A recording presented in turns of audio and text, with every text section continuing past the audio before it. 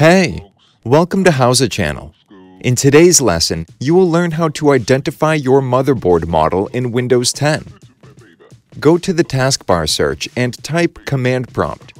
Right-click on it and select Run as Administrator. Click on Yes. Type WMIC baseboard get product, manufacturer, version, serial number, and press Enter.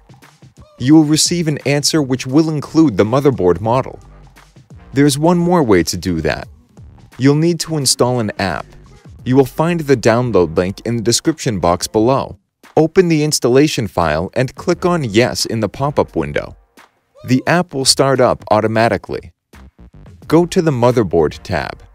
You will see the model there. That's it. Thanks for watching the video. Please like it and let us know if you use any of our tips and tricks. Subscribe to our channel. We upload new tutorials every day. See ya!